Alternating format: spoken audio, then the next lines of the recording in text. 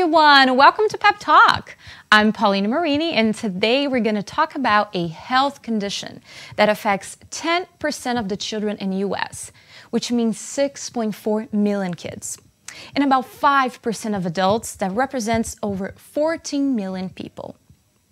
I'm talking about attention deficit disorder known as ADD or ADHD. All right, so what is ADD?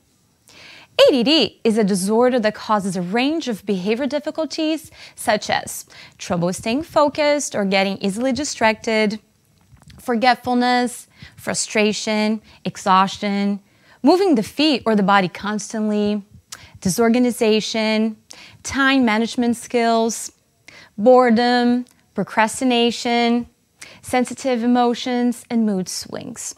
All right, so what causes ADD? Many studies suggest that genes played a large role. Like many other conditions, ADD results from a combination of factors.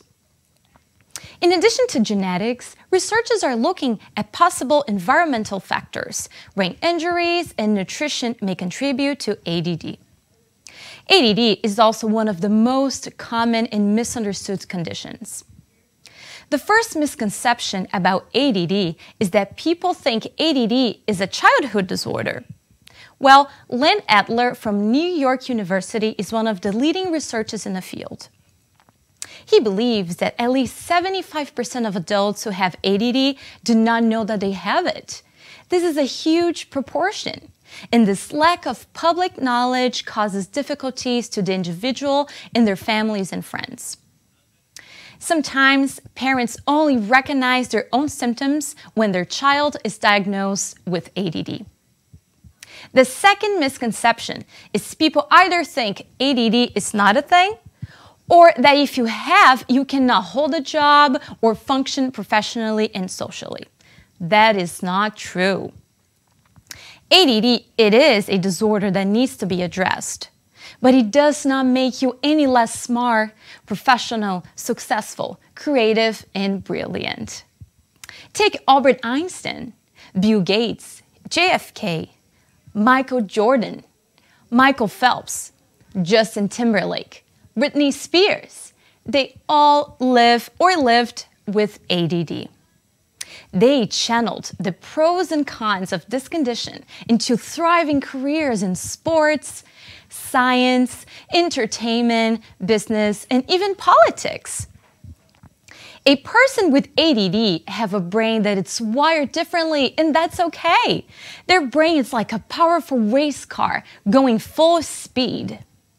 Getting the right diagnosis and the proper treatment will work on the brakes of that Ferrari brain and help them slow down when they need to make a turn. Sometimes a struggle is one area becomes an advantage in another.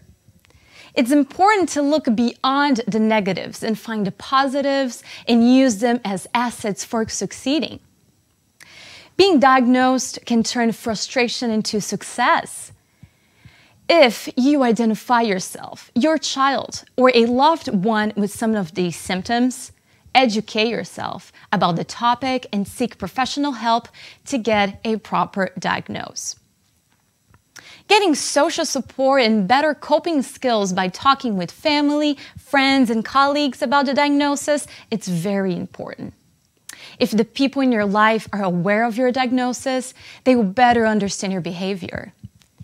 There are also support groups for adults with ADD. Now, if your kid has ADD, team up with teachers, grandparents, relatives, and babysitters. It is important that all the adults that care for your child agree on how to handle your child's behaviors.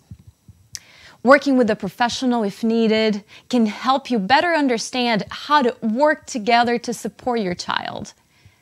Learn the tools of successful behavior management. Behavioral techniques have been widely established as a key component of ADD treatments.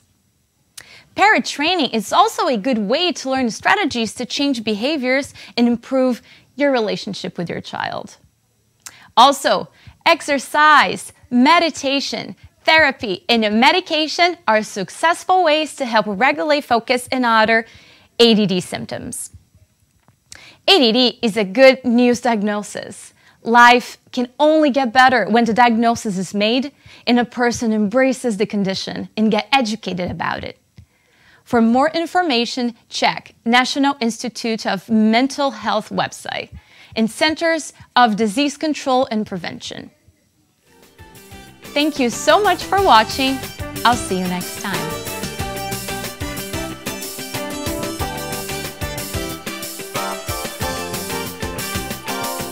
Funding for Simsbury Community Television is provided in part by contributions from viewers like you. Thank you.